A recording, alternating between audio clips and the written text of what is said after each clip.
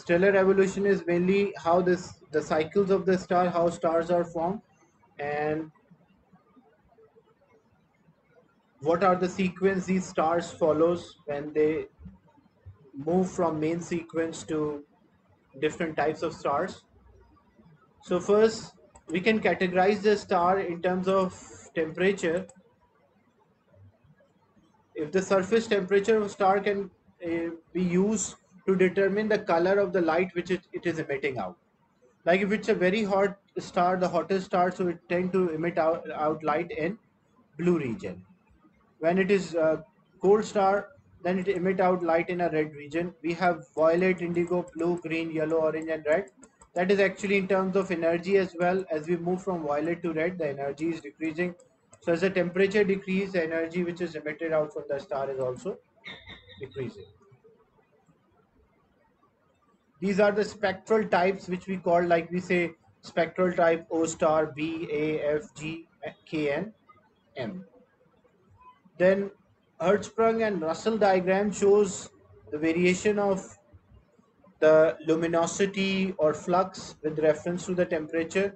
So in this one, the axis x-axis, it is decreasing 4000, 2000, half every time it's half and this is representing a scale of or a magnitude basically. And this is uh, magnitude compared to sun. We are comparing with reference to sun. That's why 0 or 1 will be there. It's like same like sun. So in this region we'll have a cold bright star on the top right and bottom right we'll have a cold and dim star. On the bottom left we'll have hot and dim star and bottom and the top left we'll have hot and bright stars this is also representing the positions of different stars so you will find like here, this is our sun region that even the star temperature is low, but their luminosity is high. Why luminosity is high? Because of their large size. Then we have blue stars or blue giant supergiants are there in this region. White dwarfs, they have high temperature, but because of small size, they are having a lower luminosity. And dim stars are there and stars which are having a low mass, they are likely to remain in a main sequence for a longer period of a time. So life of star, we divide into protostar, pre-main sequence, main sequence, and post-main sequence. So protostar, basically what happened, all the like hydrogen, helium, they collide, they join together, and starting off the collisions causing the partic uh, the gravity is causing the particles to come closer to each other then it become a pre-main, the gravitational collapse, the protostar continue to become opaque and, and it will absorb infrared radiation, it will not allow infrared radiation to escape. So it create two things, one is radiation pressure, another one is gravitational pressure. Then it turned into a main sequence star, then star continue to increase in temperature, eventually sufficient amount of uh, heat is released and that cause a hydrogen fuse like continuously what is happening increase in temperature it will become sufficiently hot so it undergo a nuclear fusion of hydrogen. And when hydrogen nuclear fusion started it releases energy and the energy radiated by the star is balances with a so radiation pressure balances with the gravitational pressure. That is why the size of the star is not changing. But the radiation pressure outward from the core of a star balances with so the pressure tend to collapse the star so increase so the size is constant here. But what happened in a post main sequence?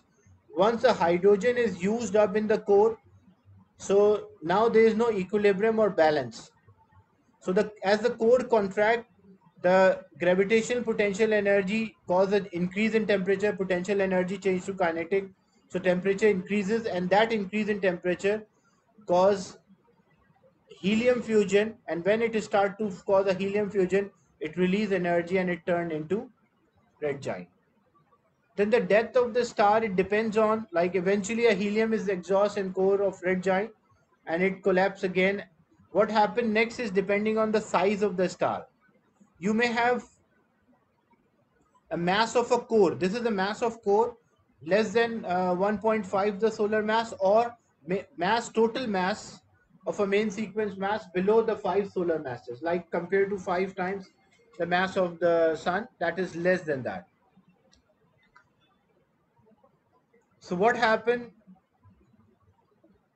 that type of stars as they emitting out or turning into red giant when the hydrogen fusion helium fusion started.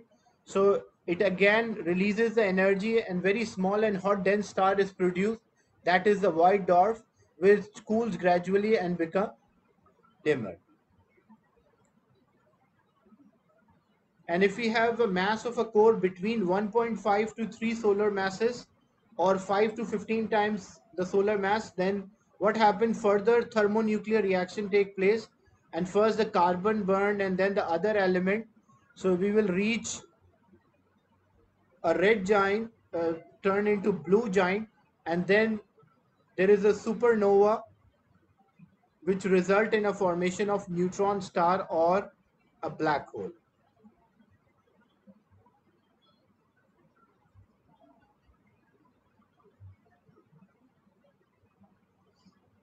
likely the black holes are formed when the mass is about 15 times and here it is forming a neutron star but uh, you are not dividing these two in, into like three parts. You are just learning two one two parts. One is a low mass star. Low mass star produce white dwarfs and high mass or massive star produce basically black holes and neutron star. And the lifespan of the star on the main sequence determined by the mass. More mass is there short lifetime on a main sequence because the rate at which they undergo a fusion that is at a faster rate so they consume all of their fuel from the fusion. So our sun is at this position. Likely it will be a red giant and it will be turned into white dwarf so this was about uh, the part uh, which was related to the evolution, stellar evolution or changes the sequence of the star. So low mass star, they will turn into white dwarfs and high mass or massive star, black hole and neutron stars.